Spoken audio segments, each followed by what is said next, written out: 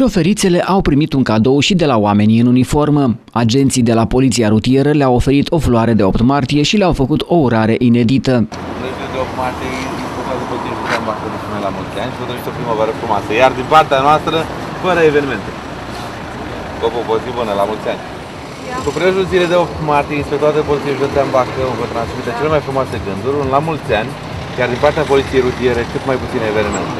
Cele mai frumoase gânduri din partea noastră, iar la Poliției Rutiere cât mai puține evenimente în trafic.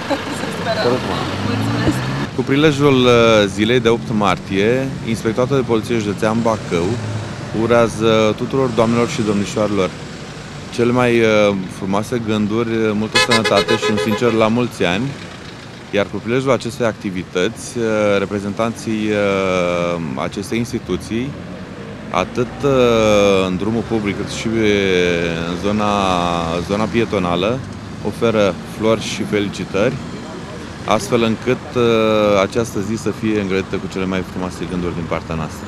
Doamnele le-au mulțumit ofițerilor, mai ales că sunt rare ocaziile când sunt trase pe dreapta pentru un motiv de bucurie. Extraordinar. De sancțiune mai exact? Da, mi-am dorit să mă oprească poliția să mă sancționeze în felul ăsta. Fieră. Foarte, foarte, foarte. Vă așteptați să vă oprească și să vă dea o floare? Da, da, da. Păi în fiecare an am primit.